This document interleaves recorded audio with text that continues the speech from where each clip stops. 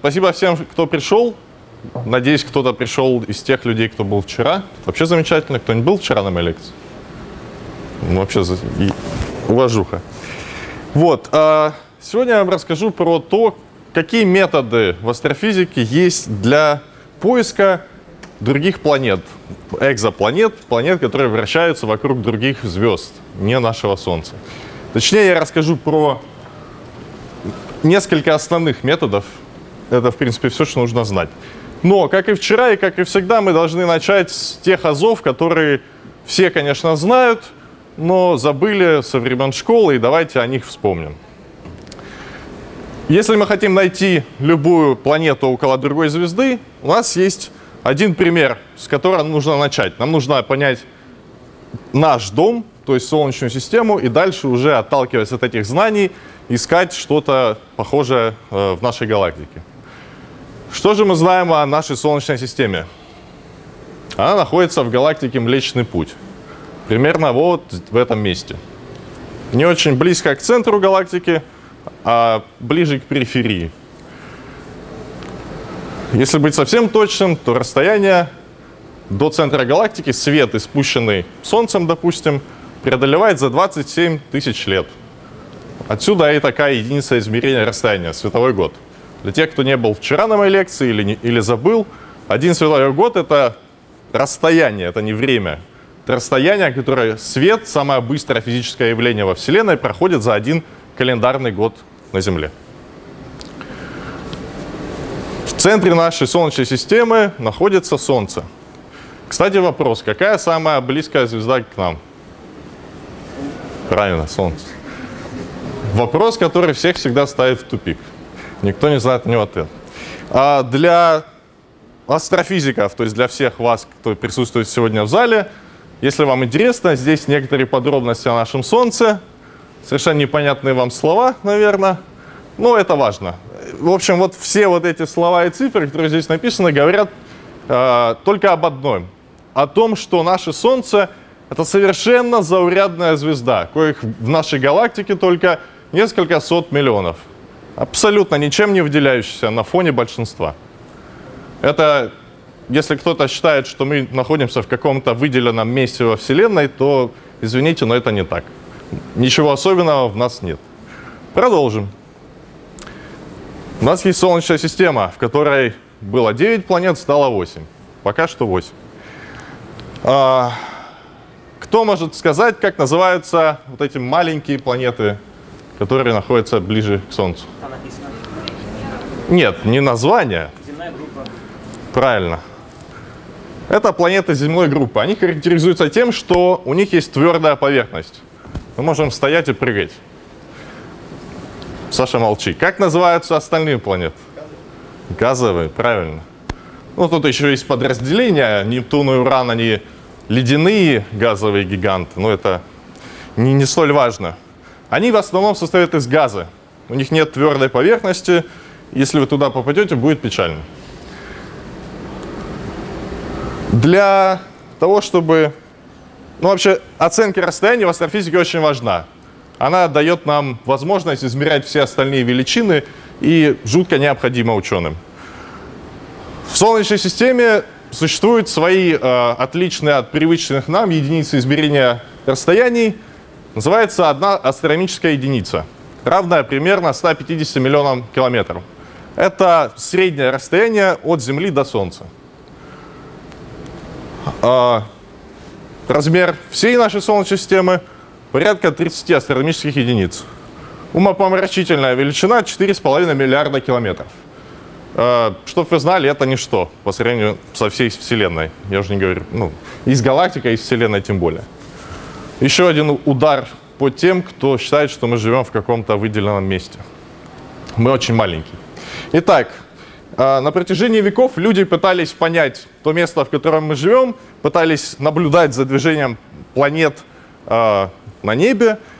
И в какой-то момент Иоганн Кеплер, известный э, астроном средневековый, наблюдая за движением планет, э, буквально, у него даже телескопа не было на тот момент, он пользовался в том числе там, астролябией, примитивным инструментом для измерения движения планет, и записывал все в тетрадочку на протяжении, по-моему, если не ошибаюсь, 20 или 30 лет.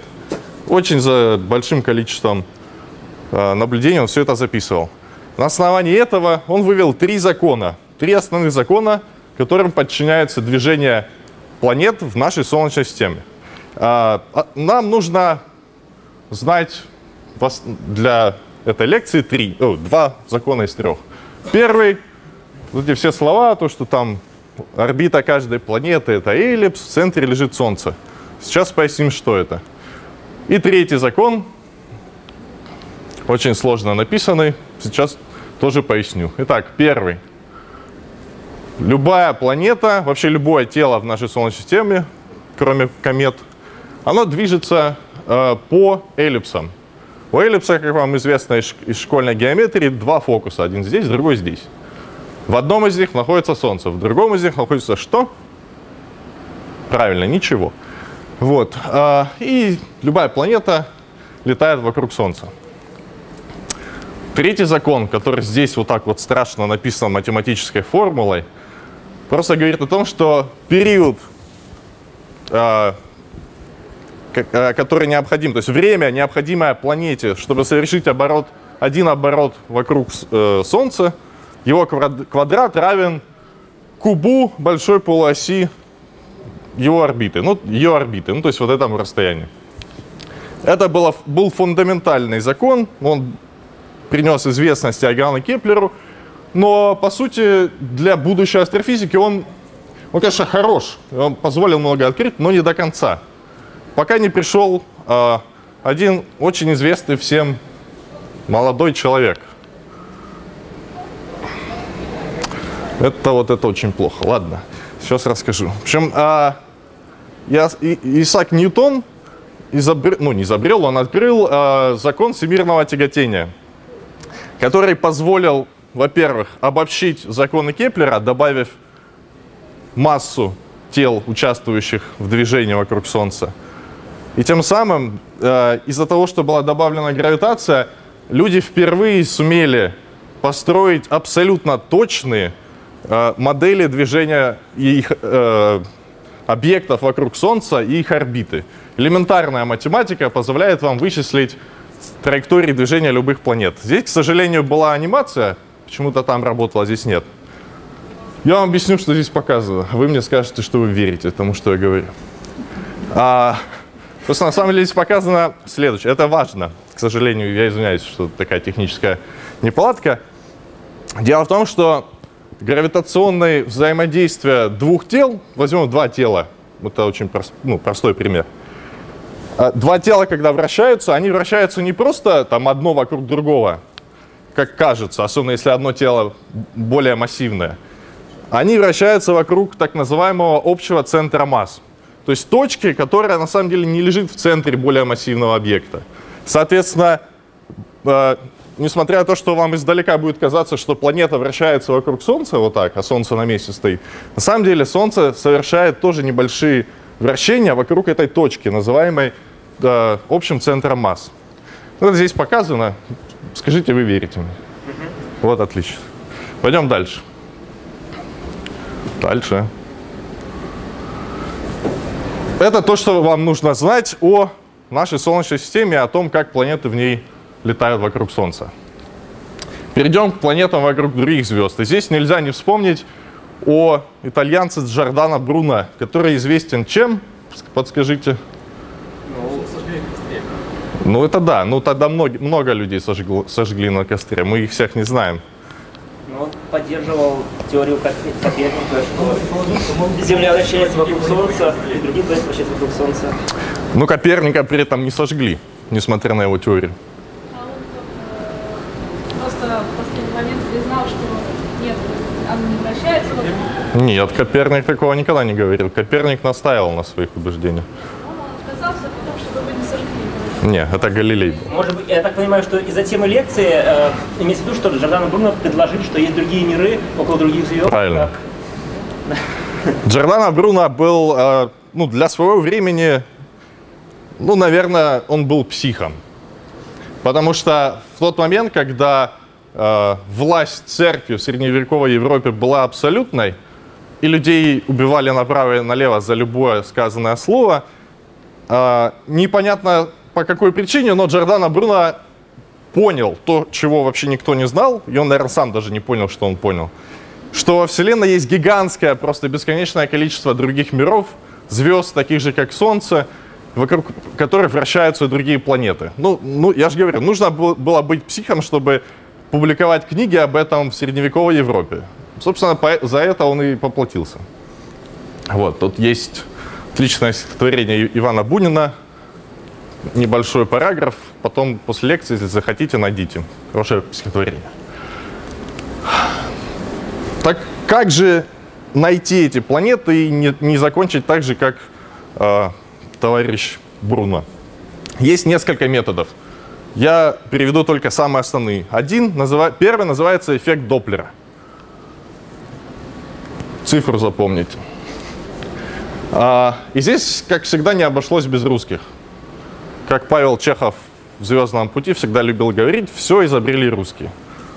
Здесь было то же самое.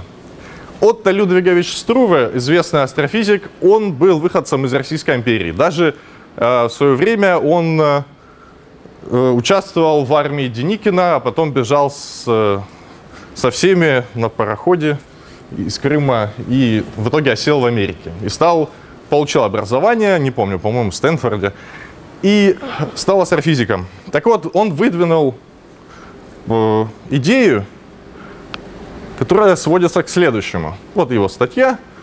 А для тех, кто забыл английский, напомню, что здесь, ну, здесь написано, что а, я сокращу, убрав все ненужные слова. Суть в том, что на тот момент, когда была выпущена его статья, он говорил о том, что без, э, ну, с учетом современных на тот момент технических свойств, э, средств, легко можно открывать, детектировать планеты, вращающиеся вокруг других звезд, которые по массе примерно в 10 раз больше, чем Юпитер. Юпитер — это самая большая планета в Солнечной системе. И для этого он э, предлагал использовать эффект Доплера. Кто знает, Саша, молчи, э, что такое эффект Доплера?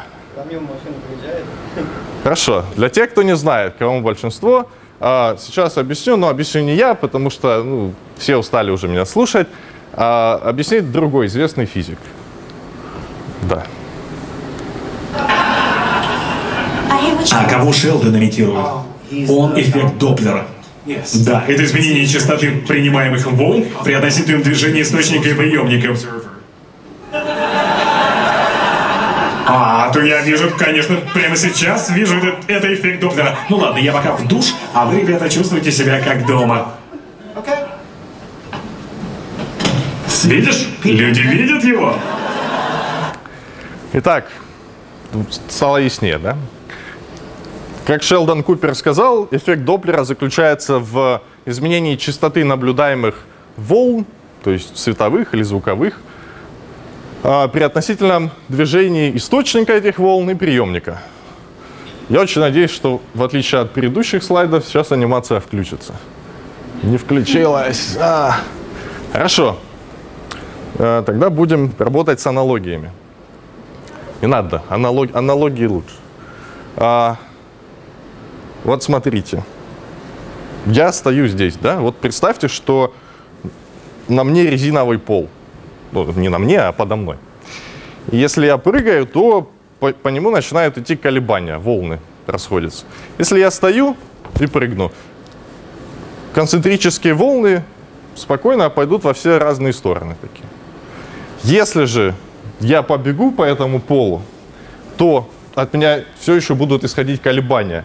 Но так как я бегу в эту сторону, здесь колебания будут рождаться быстрее, э, расстояние между двумя отдельными колебаниями будет меньше, а сзади, естественно, больше. Ну, я бегу в эту сторону. И вот это вот из-за того, что здесь будет уплотнение колебаний, это называется изменение частоты. То есть частота здесь становится больше, а сзади меньше. Надеюсь, понятно.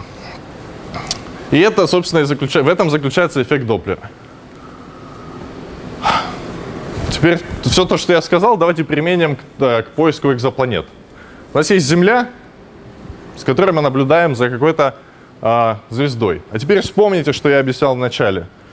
Звезда и ее планета вращаются вокруг общего центра масс. Соответственно, э, звезда тоже немножко колеблется по какой-то маленькой, очень маленькой орбите. И это здесь показано. Вот планета вращается вокруг звезды, и звезда колеблется.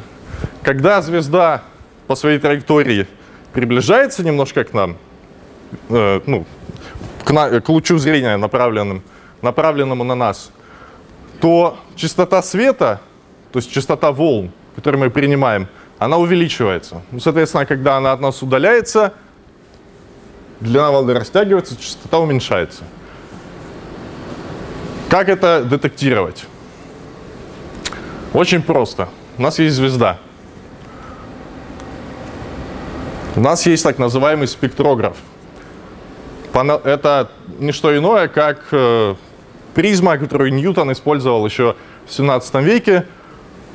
Это устройство, пропускающее через себя свет, белый свет от звезды, а потом свет разлагается на так называемый спектр. Ну, в частности, на радугу, которую все видят, э, ну, вот я думаю, через... Послезавтра, когда дождь закончится, вы все увидите радугу. Вот. А, ну, естественно, вы можете продолжить этот ряд на других э, в, э, длинах волн, там, в инфракрасном диапазоне, ультрафиолетом, в любом. И в итоге вы получите такую картинку, называемую спектром звезды.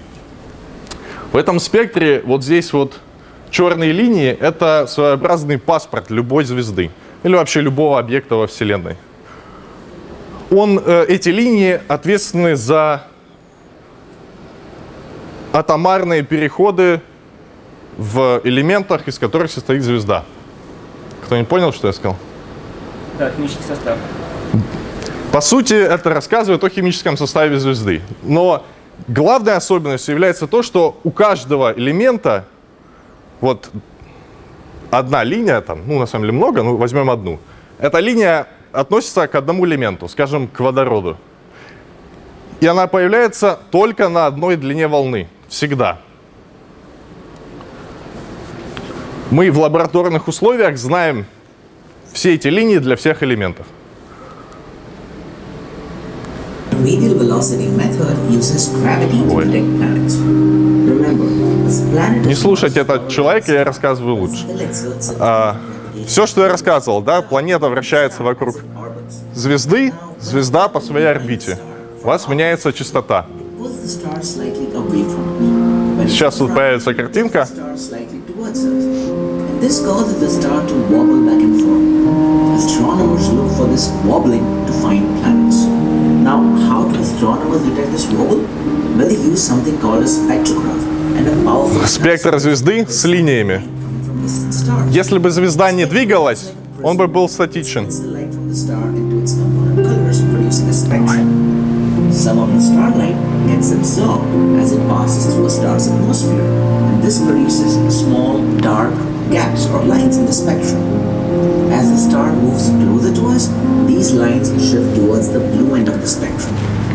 Вот вы видите, что эти линии начинают двигаться туда-сюда. И по смещениям этих линий, давайте я выключу, э, по смещению этих линий в спектре, а смещение, чтобы вы понимали размер этих смещений, это примерно 1 метр в секунду, ну чуть-чуть больше. По астрономическим меркам это ничтожные э, величины, и на самом деле астрофизики могут их замечать. И вот чем больше это смещение, вызванное движением планеты, возмущением гравитационными от планеты, тем больше масса, собственно, определяется масса э, этого объекта. С помощью этого метода можно определить массу планеты или угол наклонения ее орбиты. Потому что планеты не всегда точно перпендикулярно оси вращения э, летают. Они могут чуть-чуть, э, их орбита быть наклонена. Это все влияет на этот эффект Доплера. Второй эффект называется транзитной фотометрией. Опять же, я плохо это все объясняю, лучше вам объяснят вот эти люди. Я в полной жопе. Не волнуйтесь, я все исправлю. А теперь театр теней. Гав-гав. Я собачка. Отстой. Подожди, я только разминаюсь. Ребята по местам. Пёрл Харбор, 7 декабря 41 года. Это был обычный мирный день, как вдруг нападение японцев. Никто и не ожидал. Бонзай! Ты, в Пёрл-Харборе не было крокодилов. Да, ну военные корабли, это так скучно. Так работать. Ай, А, ну, мне надо дальше продолжать объяснение или так понятно все? Ну, лучше скажите. Хорошо. Для тех, кто хочет услышать и меня тоже. Суть в чем? Вот, а, давайте так, вы все астрофизики, а я звезда. Вот. У меня есть планета. Ну, вот она невидимая пока, но она вращается вокруг меня. Я как звезда свечу свою, свою энергию, вот отдаю во Вселенную. Вы ее принимаете, то есть свет от меня. Для вас вот кажется, что вот постоянный свет, да, вот от меня исходит. И тут вдруг сзади меня появляется планета. Она потихоньку идет, идет, идет, и выходит на луч зрения между вами и мной, звездой. И, и эта планета затмевает часть света. Если вы будете просто записывать, ну или ручкой, но лучше использовать компьютер, если вы будете записывать зависимость количества света, которое вы получаете от звезды от времени, вы увидите следующую картину. Вот простая конфигурация. Одна звезда, одна планета. Здесь показана, собственно, эта зависимость. Свет от времени. Мы находимся здесь. Смотрим отсюда. Видите, что когда планета проходит перед нами и звездой, в графике образуется такой провал. Можно посмотреть э, и на такие кон- конфигурации, когда у нас есть две планеты разного размера, то есть большая и маленькая. Как будет выгра- э, выглядеть разница в этих графиках? Здесь, и так как размер больше, больше света блокируется, этот провал больше, ну а здесь, соответственно, меньше. И, например, такая конфигурация, когда у вас в системе есть несколько планет разного размера, в итоге вы можете получить график вот на вроде такого. Одна звезда прошла, ой, одна планета прошла,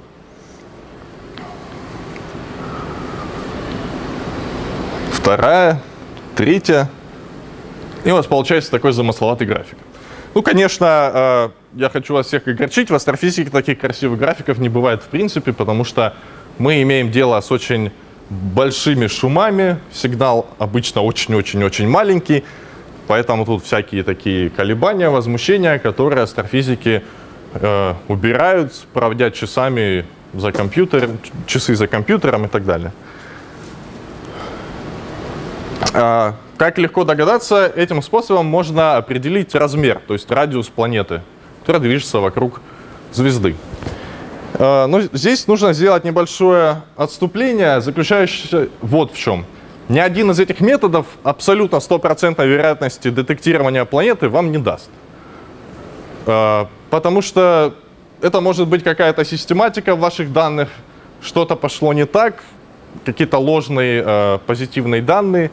И поэтому, когда открывают кандидатов в планеты а с помощью одного метода, обычно используют другой метод, э, чтобы подтвердить этих кандидатов. Так вот эти два метода, о которых я рассказал, они обычно используются друг с другом.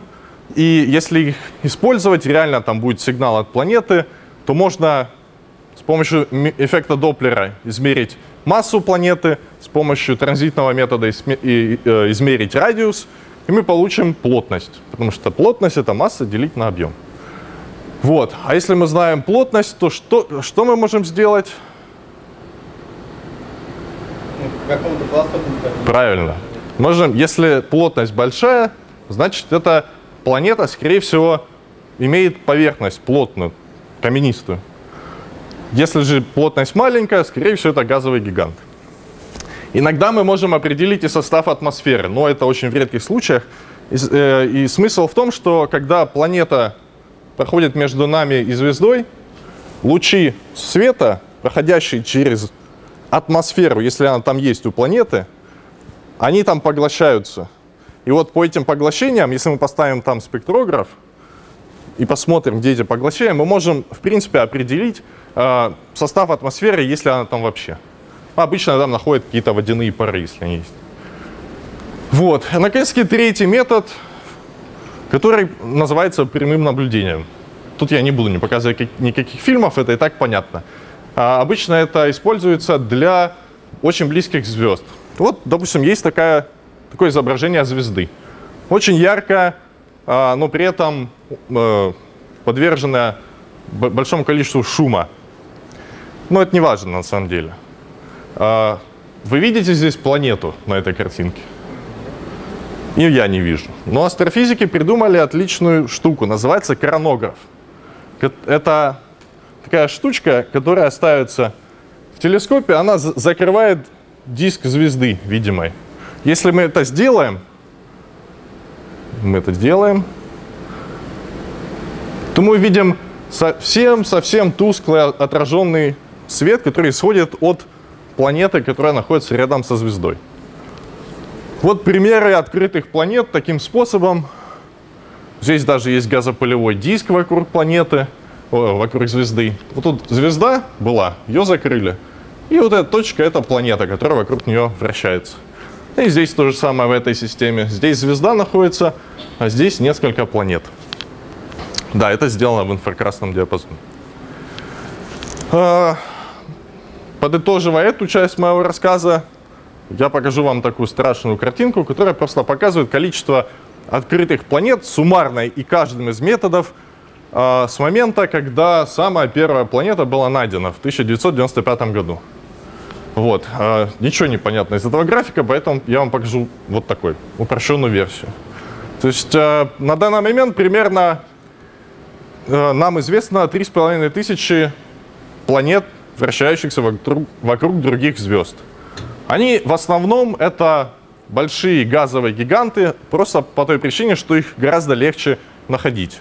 Но также мы знаем 700, почти 800 штук планет, которые, наверное, похожи на Землю, но в несколько раз их размеры больше, чем у нашей малютки Земли. А, 361 планета, ну такая каменистая, похожая, наверное, на Землю, но меньше размера. Ну и 13 мы не знаем. Вот. а, так как мы хотим найти вторую Землю, то нам нужно а, понять важные вещи. То есть где может быть жизнь.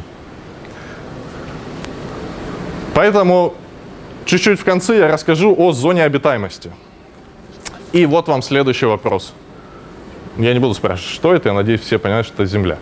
А, Кстати, фотография сделана с помощью российского спутника Электро-Л. Почившего уже, да, по-моему?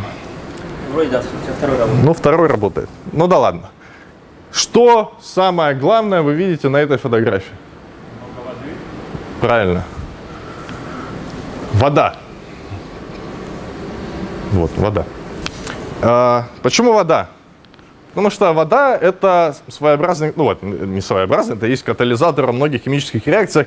Это необходимое, необходимый элемент для существования жизни. Одна, одно отступление. Жизни такой, какой ее знаем мы. Мы не знаем другой жизни, кроме как похожей на нашу, на- которая находится на нашей планете. Да, возможно, где-то, как и во всех фантастических фильмах, о которых люди разговаривают там внизу, существуют какие-то другие силиконовые, ой, не силиконовые какие-то, ну да, сил- э, кремниевая жизнь, какие-то непонятные амебы, но мы знаем только один вид жизни. Поэтому логично, что мы ищем следы такой жизни. Соответственно, нам нужно найти воду на других планетах. Так вот, э, собственно, и это и является определением э, такого понятия, как зона обитаемости. В самом простом э, понимании зона обитаемости — это та область вокруг звезды, любой звезды, в которой вода на поверхности планеты может находиться в жидком состоянии. Ну, потому что если это лед, то лед сложно использовать для жизни. тем более газ. Вот, к примеру, как это выглядит в нашей Солнечной системе. У нас есть Солнце. Дальше у нас что идет? Какая планета? Меркурий, Саша, молчи.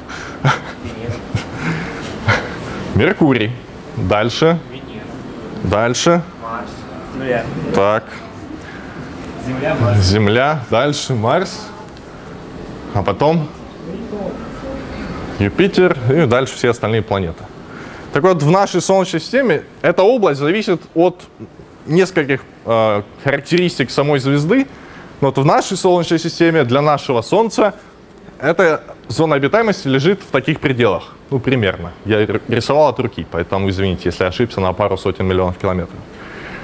А, ну, как мы видим, у нас только две, две планеты попадают в ту область, где вода может находиться э, в жидком состоянии, в классическом понимании. А, ну вот, к сожалению, Марсу повезло меньше, он ввиду разных причин, о которых мы не совсем догадываемся, ну, не, смо- не может поддерживать жизнь. Ну, Земля пока еще может. Ну, Не обязательно, ну там, там много факторов. Там еще и столкновение, скорее всего, было с чем-то. Сегодня мы слушали про то, что там плиты не двигаются. Хотя это может быть следствием столкновения со- с астероидом. Следствие малой массы.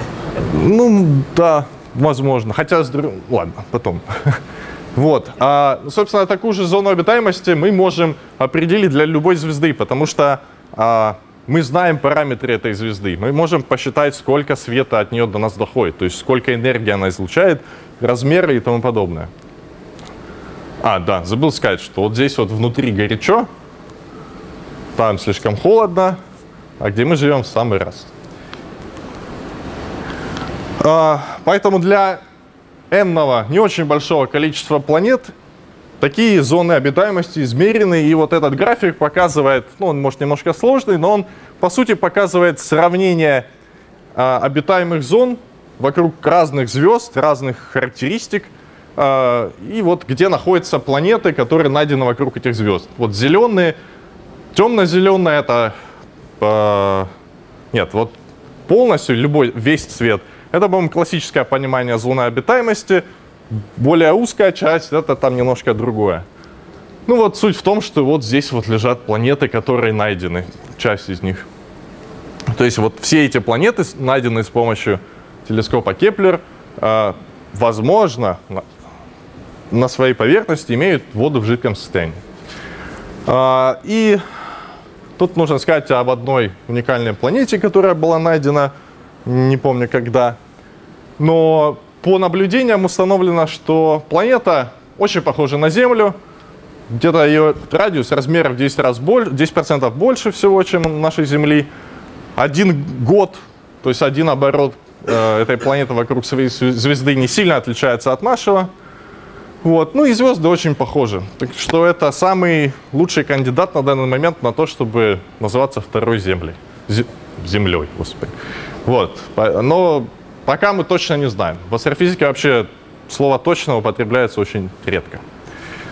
А, И пока мы можем только догадываться о том, что там на самом деле происходит, но НАСА, э, как очень дальновидная организация, уже э, начинает готовиться к межпланетным, межзвездным полетам, поэтому они открыли э, туристическое агентство или открывают вот некоторые плакаты, которые призывают людей и вас в том числе посетить только что открытые звезды, э, планеты. Все, на этом я закончу и с радостью отвечу на любые ваши вопросы, если они есть. Спасибо.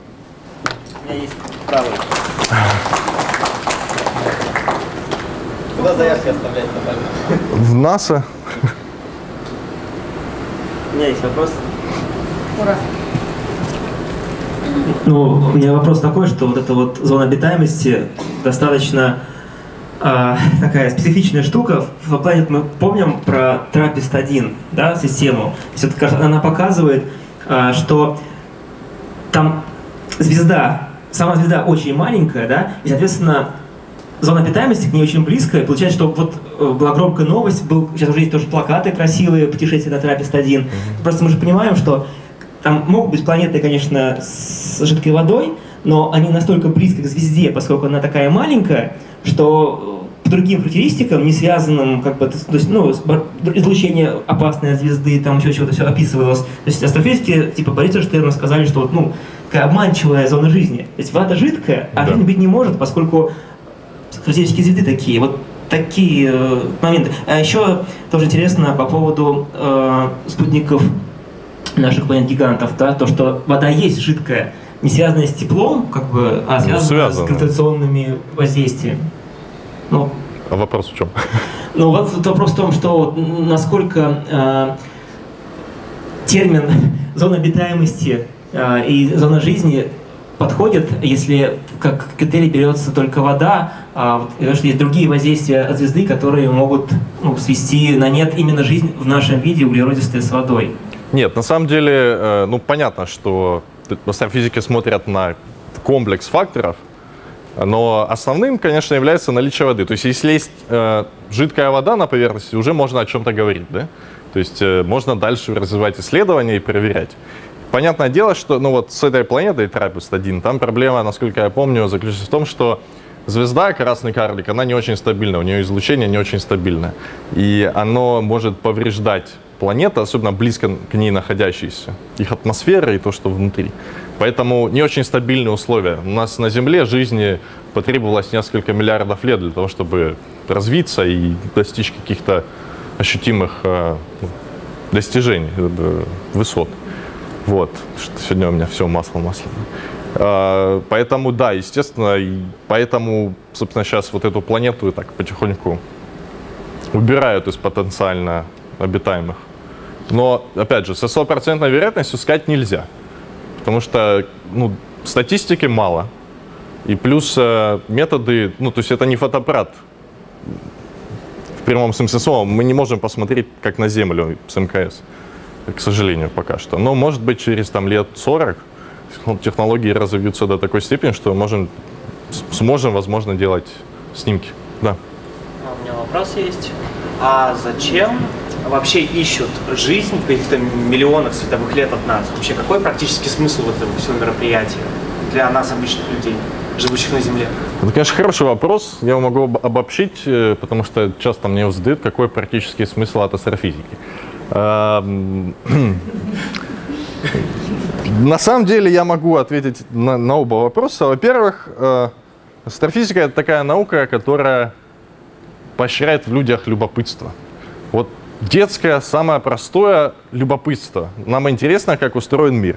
С другой стороны, э, ну я очень сомневаюсь, что на Земле найдется хотя бы десяток людей, которые никогда в жизни себя не спрашивали, а есть ли кто-то там еще. Инопланетяне, они все смотрели эти фильмы. Всем интересно. Это то, то же самое любопытство. Ученые не сильно отличаются от обычных людей. Поэтому, собственно, они и смотрят. С другой стороны, э, находя планеты пригодные для жизни, и смотря на условия, которые на этих планетах существуют.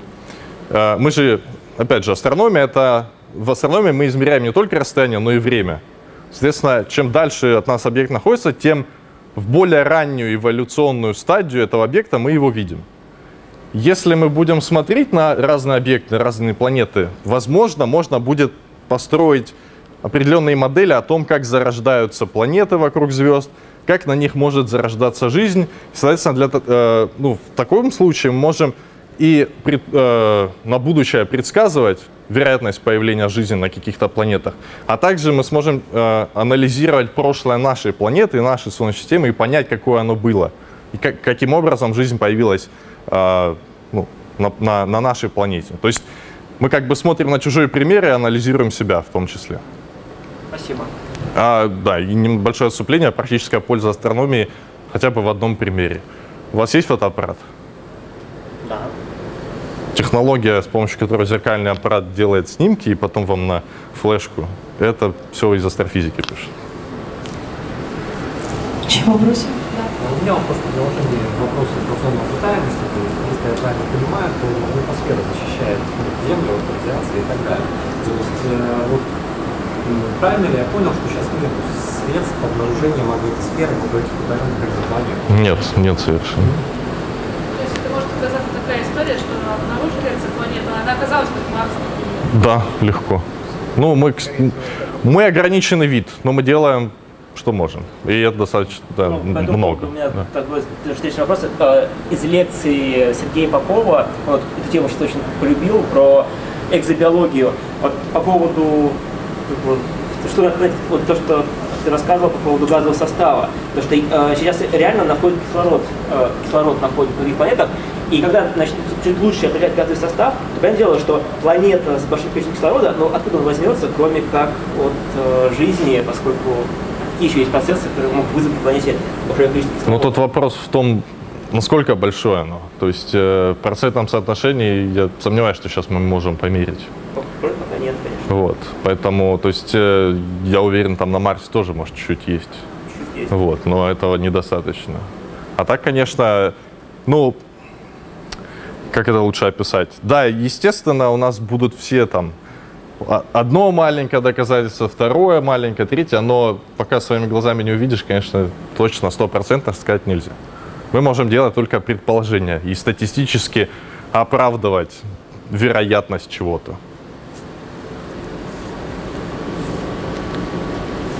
Еще вопросы? Э, По поводу Венеры. Просто вспоминая фантастику 70-х, ну и просто какие-то планы, э, она была одним из кандидатов на терраформинг. И э, у вас на графике смотрю, что она за границами зоны жизни. И э, меня такой вопрос. Э, Какие-то внешние факторы, они делают невозможным войне жизни, кроме кислоты в атмосфере. А Вы сегодня были на лекции Алексея Простите, нет.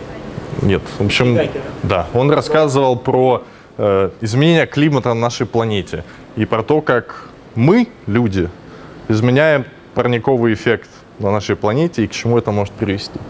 Венера, э, на ней случился парниковый эффект, но он вышел из-под контроля. Я не уверен, что мы знаем, по каким именно причинам это случилось. Возможно, вулканическая активность или еще что-то. Там выбросы углекислого газа, метана. Но суть в том, что парниковый эффект на этой планете вышел из-под контроля абсолютно, и он поджарил всю, атмос- э, всю планету. То есть там температура, вот, как вы думаете, где, где больше температура? На Меркурии, который ближе к Солнцу, или на Венере? На самом деле на Венере. Там приближается к 500 градусам Кельвина. Цельсия. Потому что там вышел из-под контроля парниковый эффект. Ну так вопрос о том, что мы делаем с нашей планетой. Но это, опять же, не, скорее не внешний фактор, не интенсивность солнечной радиации, а просто атмосферы, так или иначе. Ну, Солнце достаточно стабильная звезда. А, И в прошлом она, скорее всего, тоже была стабильна. То есть э, мы вряд ли сейчас знаем, что произошло в прошлом с Венерой. Мы, ну, сколько мы туда станций отправили?